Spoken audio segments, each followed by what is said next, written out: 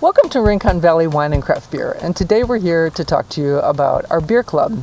As you can see, we're in this beautiful park, it's a lovely fall day, and as the seasons have changed, you probably have changed too. You're probably starting to watch a little football, maybe have a tailgate party, going over to a friend's house.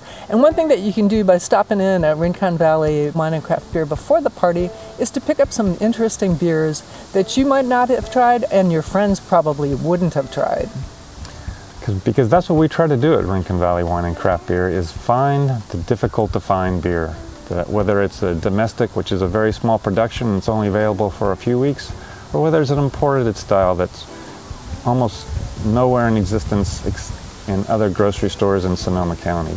We really do work with our distributors and our importers to find beers that you just can't buy anywhere else. And the one thing you might not notice is that even though you see a great selection in the shop, there are many beers that never make it to the shelves. And those are the beers that go to our club members because they have first dibs on everything we purchase. So we're working hard to make sure they find unique styles that are just going to be very special for them and, and expose them to varietals that they've never tried before. On top of it, the beer club it, the selection of the four beers for club members isn't made until the end of the month so that we can make sure that you're getting the absolute latest and greatest that we have to offer.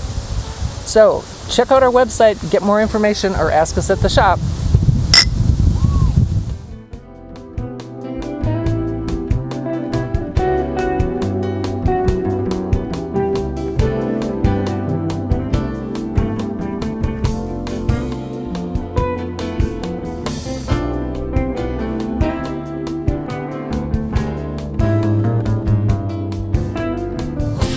Please don't make me do it again.